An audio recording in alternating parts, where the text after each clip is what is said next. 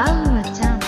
นี่เชียวครับทุกคนครับความดังเหรอย ในวันนี้ครับอยู่ในแบบของออสตาร์ดูดเฟกันนั่นเองนะ และในคลิปนี้ครับเดี๋ยวมารีวิวตัวละครทั้งกันบ้าดีกว่านะครับที่ได้จากการขอพรนั่นเองครับเป็นก๊อตทั้งเนาะตัวบนสายยาก๊อตนะครับผมดาเมจนะครับจะเปลี่ยนแปลงเท่าไหร่นะครับผมไปดูกันเลยดีกว่านะครับเหมือนเดิมเลยครับถ้าเกิดไม่รบกวนจนเกินไปนะครับอย่าลืมช่วยกดไลค์กดติดตามเป็นกำลังใจให้ผมหน่อยละกันนะครับผมจะขอบคุณมากๆเลยฮะถ้างั้นไปดูกันเลยดีกว่าครับผมdamage น่าจะเปลี่ยนเยอะพอสมควรเลยฮะ Trunks นะครับจะวางเริ่มต้นอยู่ที่ 500 เลยครับผมตีเป็น full AoE นะวางได้ 8 ตัวเองนะครับผม เรามาดู skill กันเลยดีกว่านะเหมือนเดิมเลยนะครับ พร้อมกับรีวิวนะครับ เช่นเคยโอเคนะครับ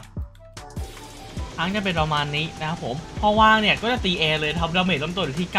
9,850 นะครับ ตี 7 วิระยะ 50 นะครับ อัพแรก 4,500ถ้าได้2เปลี่ยน skill นะครับผม damage เป็น6แสนนะ ใช้เงินเงินเนี่ยอยู่ที่ 16,000 ครับถ้าได้3เนี่ยอยู่ที่ 25,000 ครับถ้าได้4เปลี่ยน skill นะครับผมล้านเจ็ดครับ damage เป็น 9 ล้านครับผม และนี่คือ damage Trunks ทั้งหมดนะครับผม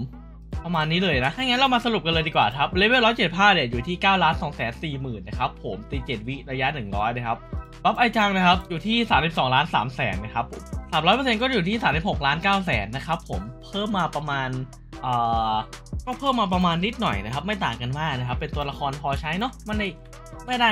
เก่งอะไรมากเวอร์วังอะไรมากนะครับเอาไว้แบบเก็บสะสมเนาะสำหรับตัวละครขอพรนั่นเองโอเคนะครับเอาเลยครับเป็นไงกันบ้างครับสำหรับตัวละครของทั้งนะครับก็ยังน่าเก็บเหมือนเดิมไหมนะฮะ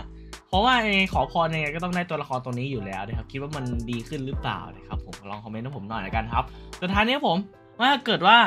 สุดท้ายนี้ครับเหมือนเดิมเลยครับถ้าเกิดว่าไม่รบกวนเพื่อนๆจนเกินไปนะครับอย่าลืมช่วยกันกดไลค์กดติดตาม